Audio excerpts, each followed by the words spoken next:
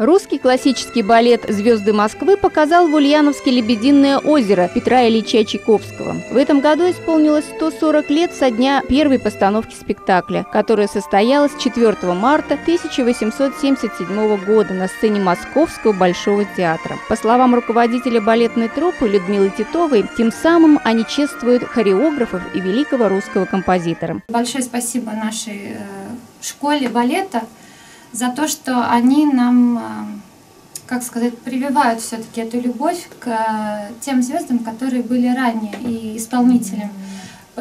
Потому что именно они несли в себе не только технику, как сейчас, да, это модно, и техника, всяческие данные, все на этом построено. Но они несли в себе именно драматизм э, спектакля. Они делали спектакль, не балетную постановку, правильно я говорю?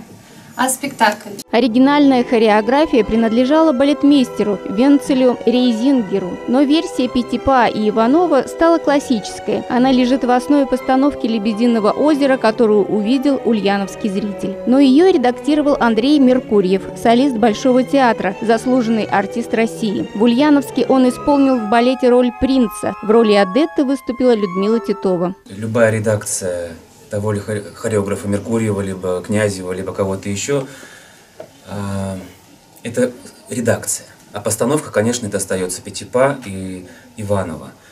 А, просто в спектакле добавляются какие-то нюансы.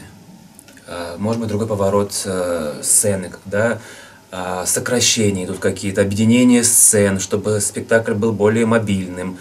Сейчас такое время, что смотреть четырехкратный спектакль вы не высидите просто в зале. Сюжет раскрывает сказочную историю о царевне Лебедь по имени Адетта и принце Зигфриде. Каждое представление Лебединого озера – это праздник, сопровождаемый вечной музыкой Чайковского и великолепной оригинальной хореографией. Красочные костюмы и декорации, безупречность танца солистов и кардебалета создают общую картину высокого бессмертного искусства. Ирина Антонова, Новости Ульяновской правды.